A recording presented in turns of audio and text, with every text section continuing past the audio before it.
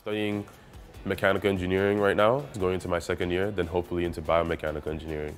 I was in a program similar to this when I was in grade 11, going to grade 12, and when I heard of this going on, I'm like, okay, wait, this is my chance to kind of give back and mentor the next generation. The K2I Academy program is um, really grounded in doing equity-focused work and thinking about system change work in STEM education. We're really thrilled to bring along new collaborators like 407 ETR. As part of our goals and values as an organization, we're looking to diversify our own talent pool, and we know that there's work to do.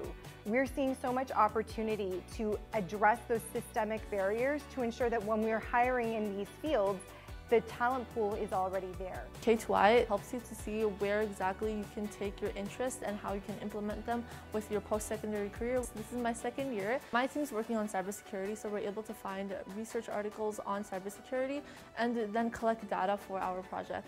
We are really committed to creating learning experiences that strengthen STEM skills, including things like engineering design, coding, computational thinking, and creating the next generation of creators, innovators, thought leaders, and uh, problem solvers.